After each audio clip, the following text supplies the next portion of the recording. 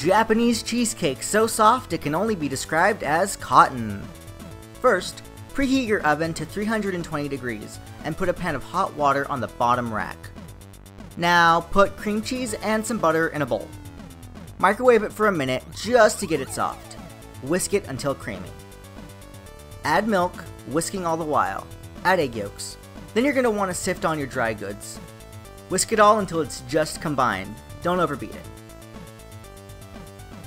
Now, with a clean whisk, whip your egg whites and a little vanilla until foamy.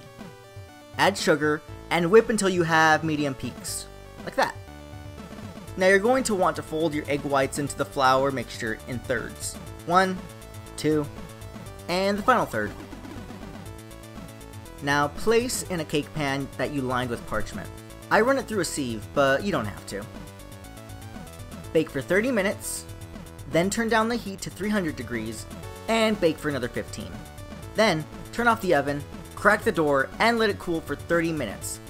Now you can depan it and serve it on a pretty plate. It's a cheesecake that actually looks like a wheel of cheese. Neat! Slice out a wedge of your wheel, and serve with tea as usual. Silky, smooth, delicious. If you like that recipe, you'll love these. Also, be sure to like, comment, and subscribe for more awesome videos.